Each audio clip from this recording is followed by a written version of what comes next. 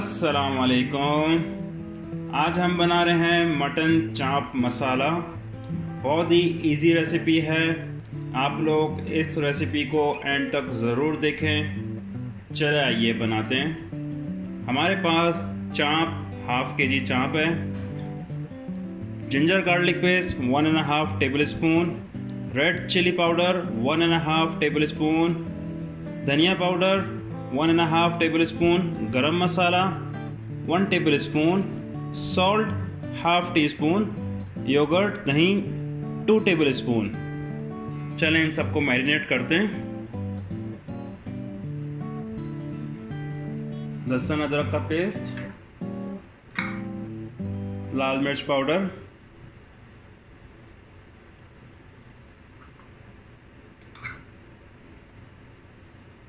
धनिया पाउडर, गरम मसाला, नमक और लास्ट में दही। इसको आप अच्छी तरह मिक्स कर लें।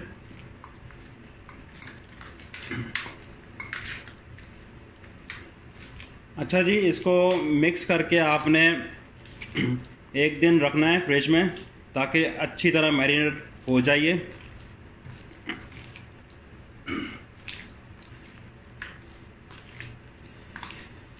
देखें, इसको अच्छी तरह मैरिनेट, मिक्स करें और मैरिनेट करके हम इसको रखेंगे, एक दिन रखेंगे इसको फ्रिज में।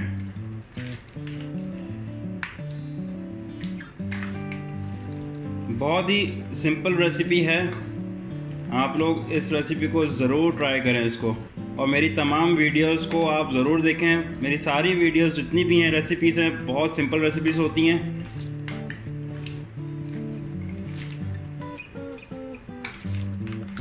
देखें मैरिनेट हो चुका है मिक्स कर चुके हैं इसको अब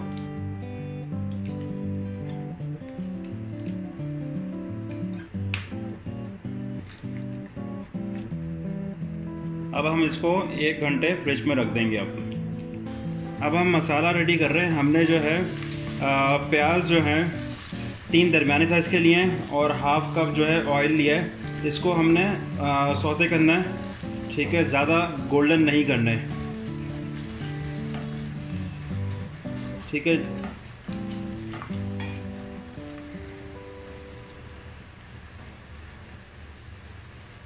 ये देखें प्याज जो है नरम हो चुके हैं। ठीक है? इसमें अब हम एक दरमियाना टमाटर ऐड करेंगे। ठीक है? और हाफ़ टी स्पून हल्दी इसमें ऐड करेंगे।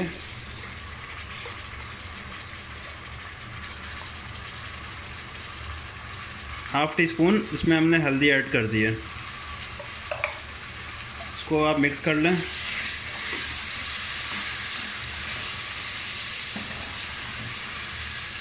पाँच मिनट तक इसको जो है आप भूनें और इसके बाद जो है आपने जो मैरिनेट चाँप जो की थी हमने, अब इसमें मिक्स कर देंगे हम। इसमें ऐड कर देंगे।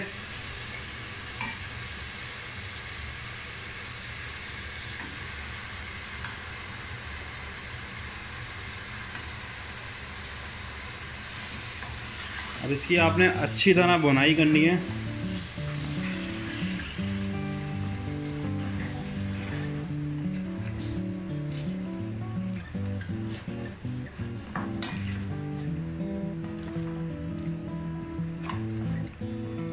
इसको आपने आधे घंटे तक इसको पकाना है, इसे भुनाई करें, अच्छी तरह पहले इसकी।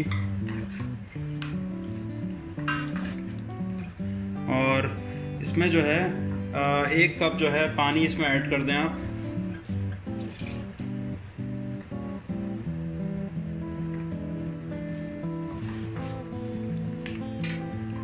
अच्छी तरह मिक्स करके आपने इसको कवर कर देना ताकि चाप जो है, गल जाए और जो प्याज, टमाटर हैं, वो भी अच्छी तरह हमारे गल जाएँ इसमें। देखें, इसमें मैंने जो है ना, हाफ़ कप पानी और ऐड किया है, ताकि जो है गोश्त जो है, अच्छी तरह गल जाए। और फ्लेम जो है, वो मीडियम फ्लेम पे, मीडियम से लो फ्लेम पे होना चाहिए, ताकि अच्छी तरह गोश्त गल जाए और पानी जो है, इसका सूख जाए। जब पानी सूख जाएगा, उसके बाद हम बुनाई करेंगे। जब तक इसको हम पकने देते हैं। देखें, इसको हमने पकाया है, आधा घंटा तक जो है इसको हमने पकाया है। पानी इसमें बीच में मैंने ऐड किया ताकि गोश्त जो है गल जाए। ठीक है, अब ये देखें, माशाल्लाह, इसका कलर देखें कितना अच्छा आ चुका है कलर। अब इसको थोड़ा सा फ्लेम को थोड़ा हाई करके ना, इसको हमने अच्छे से ना भून लेना है। ठीक है जी, अब इसमें हाफ़ टी स्पून जो है हम गरम मसाला ऊपर से ऐड करेंगे। गरम मसाला ऐड करने के बाद आपने इसको अच्छी तरह भूनना है।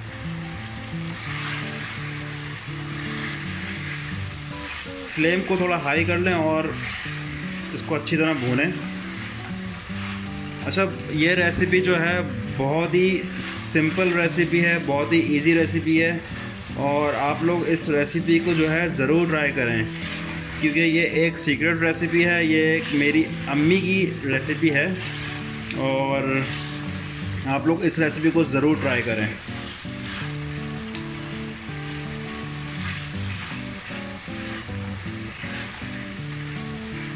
जी, ये देखें, ये अब अच्छी तरह जो है भुन चुका है। ठीक है? इसको मज़ीद आप देखें, गोश्त भी जो है बहुत सॉफ्ट हो चुका है। ये देखें, गल चुका है गोश्त। ये देखें आप। आपने इतना पकाना है इसको कि आपको लगे कि आपका गोश्त जो है, इसका चाँप जो है, वो गल गल जाए। ठीक है?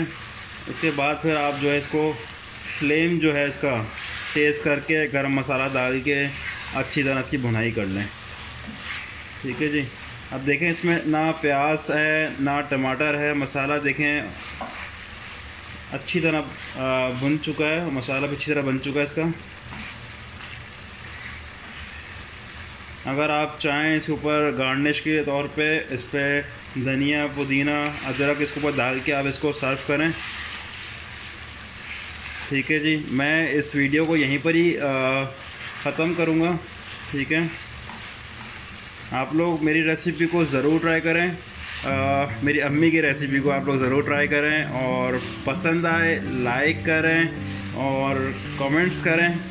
प्लीज़ फ़ीडबैक देना ज़रूर फ़ीडबैक देना मत भूलेंगा, ज़रूर फ़ीडबैक दें।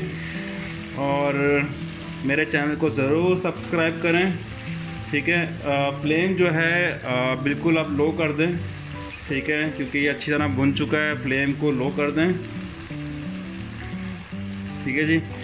और मेरे चैनल को ज़रूर सब्सक्राइब करें। इस वीडियो का मुझे फ़ीडबैक ज़रूर दीजिए आप प्लीज़ आप लोग के फ़ीडबैक के बगैर हम लोग रेली कुछ भी नहीं है। तो थैंक यू सो मच अस्सलाम वालेकुम